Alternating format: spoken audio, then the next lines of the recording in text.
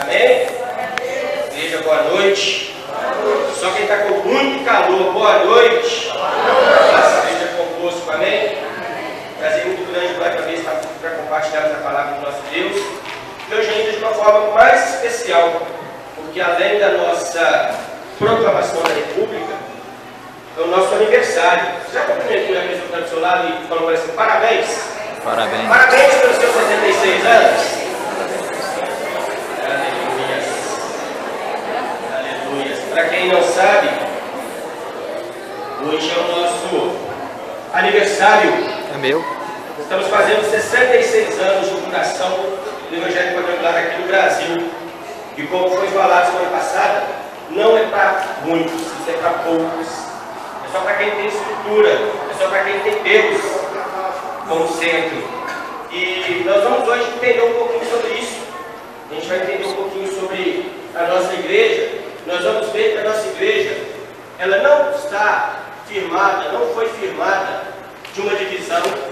Ela não foi formada por alguém que quis algo diferente. Ela não foi formada por alguém, por um grupo que cismou com o pastor da igreja, cismou e foi lá e formou uma igreja. Não. A nossa igreja está firmada na Bíblia. E aí você vai abrir sua Bíblia, por favor, em Ezequiel, no capítulo 1.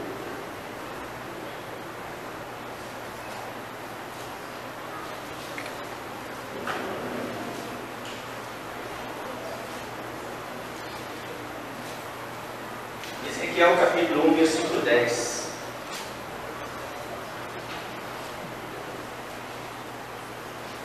Todo mundo achou? Amém? Está falando assim.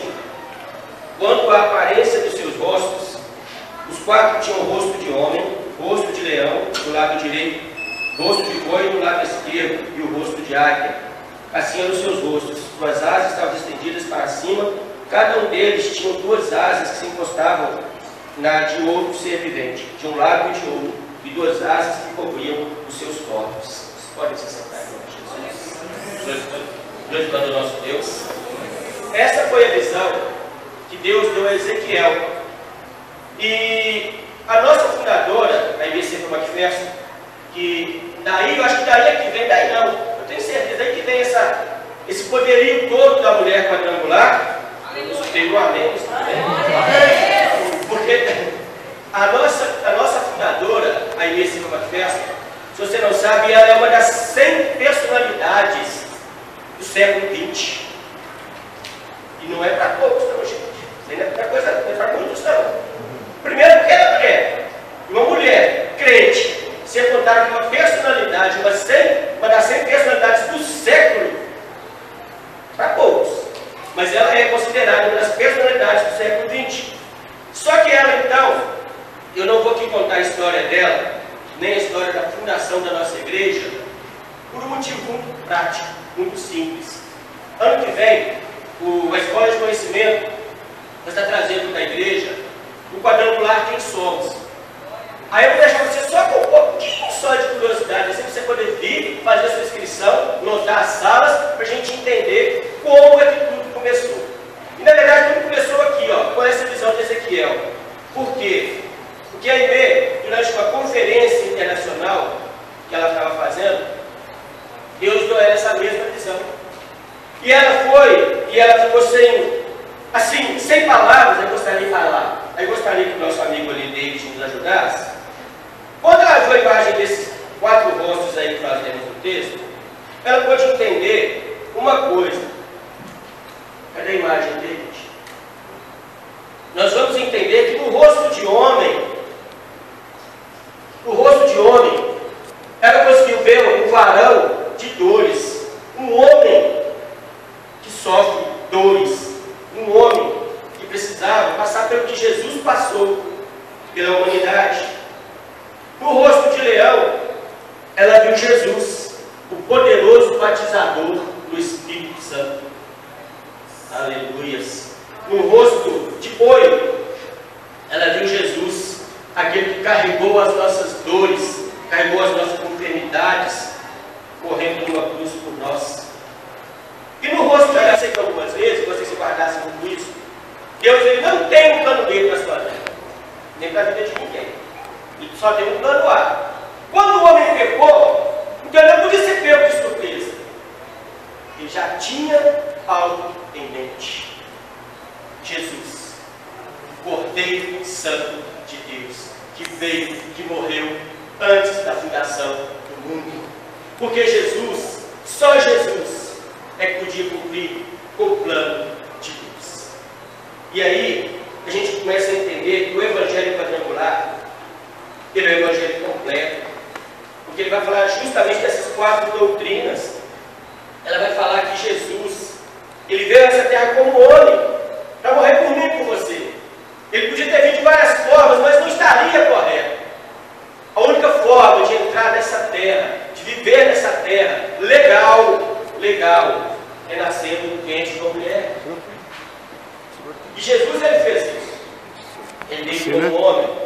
Jesus ele, ele veio e Jesus ele precisava de novo batizar o homem com o Espírito Santo. Por quê? Porque quando um homem pecou, ele perdeu o elo de ligação com Deus. Quando eu e você pecamos, nós nos afastamos de Deus por isso. O elo fica perdido. É por isso que nós devemos arrepender e pedir perdão a Deus. Agora, ele precisava morrer. Porque só o sangue justo e precioso podia levar de novo o homem de volta para Deus. E finalmente, ele um dia vai voltar. Esse dia está muito próximo. Está muito próximo. Eu não sei se nós vamos comemorar mais o aniversário da igreja. Porque está muito próximo. E Jesus ele falou assim: Olha, estou indo preparar-vos lugar. O seu lugar está garantido. O nosso lugar está garantido. Cabe a nós conquistarmos este lugar. Amém? Aí, quando essa igreja então foi fundada, a nossa igreja foi fundada em 1923, lá nos Estados Unidos, ela veio uma ramificação dela para o Brasil. Veio, uma parte dela veio para o Brasil e ela chegou aqui no dia 15 de novembro de 1951, 1951, na cidade de São João da Boa Vista, lá em São Paulo.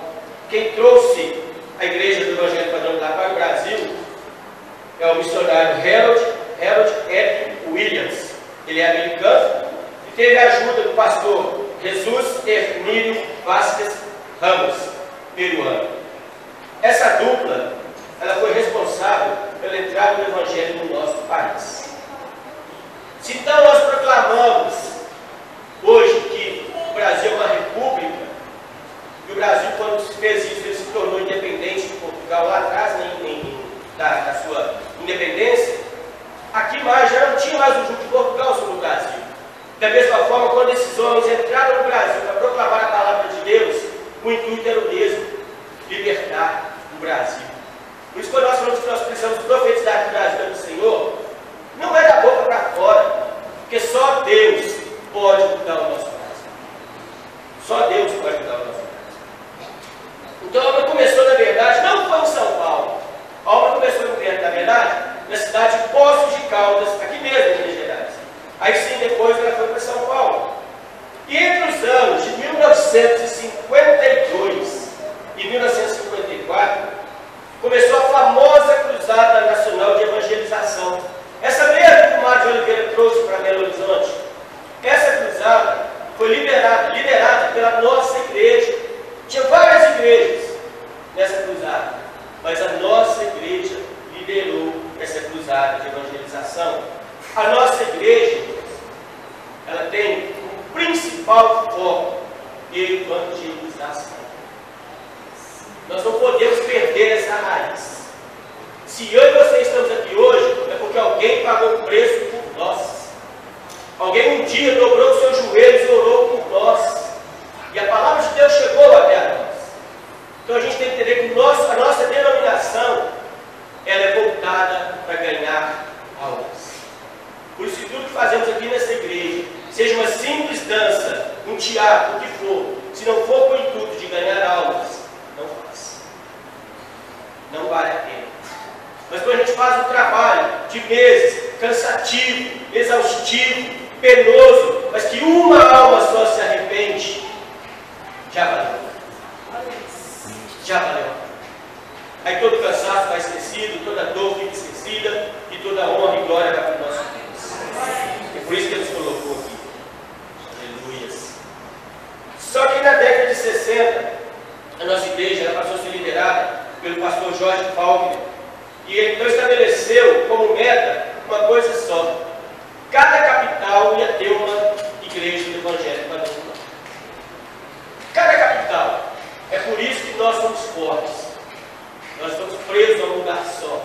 Nós hoje estamos no Brasil inteiro. Nós hoje estamos espalhados. Porque também logo após foi colocado então como meta que cada município recebesse o nosso Evangelho. Com relação às décadas de 70 e 80, elas foram marcadas pelo evangelismo dinâmico. Aí só um detalhezinho importantinho, importante, importantíssimo. A gente, quando entrou o neopentecostalismo, aquela coisa de capitalismo, de capitalismo, de capitalismo, de ter, de ter, de ter. Os camaradas falam, pastor Maia fala que sempre é verdade. Deus não precisa do meu, do seu dinheiro. Só que hoje o povo infelizmente acha que tem que dar o dinheiro para Deus dar. Mas a obra de Deus precisa de dinheiro. Tudo que está aqui dentro do obra custa dinheiro. Abrir as portas dessa igreja custa dinheiro. Reformar essa igreja custa dinheiro. Ter os nossos é, é, ar-condicionado e ter o nosso é, elevador panorâmico custa dinheiro. Vamos ter em nome de Jesus. Amém, Jesus. Precisa entender que não só, não só Deus não precisa, mas nós precisamos. E a coisa precisa acontecer. Só que o evangelismo dinâmico, a palavra foi largando de lado, ficando para trás. A palavra não pode ser. A palavra não pode ser trocada pelo dinheiro. Não se pode fazer uma troca com Deus. Deus não é Deus de barganha. Deus não pode assim. Deus não precisa disso. Ok? Só que aí, como tudo é muito completo na nossa igreja, na nossa doutrina, vamos ver o que, que diz então sobre os evangelhos sobre a nossa igreja.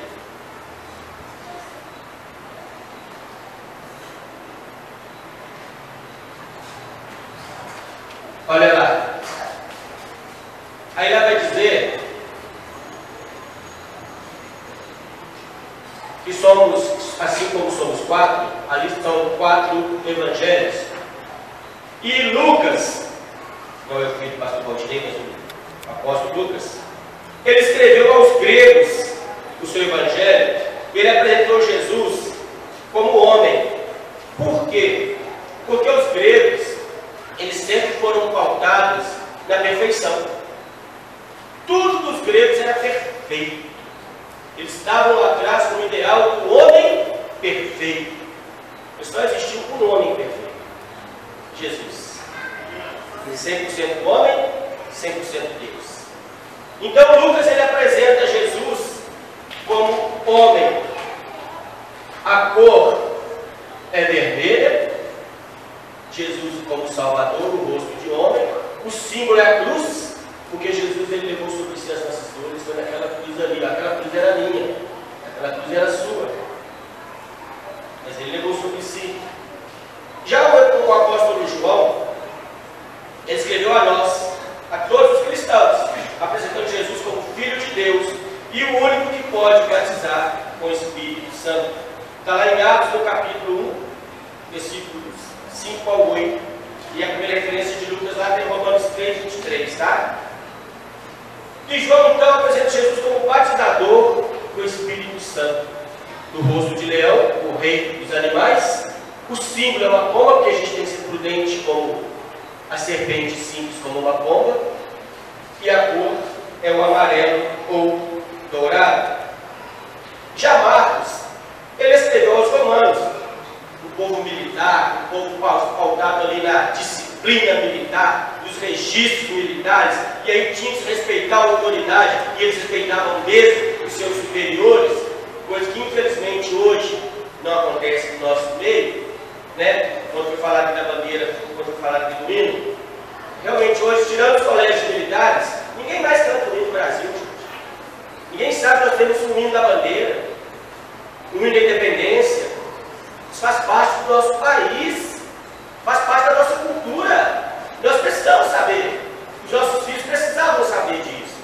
Só que eles não sabem disso.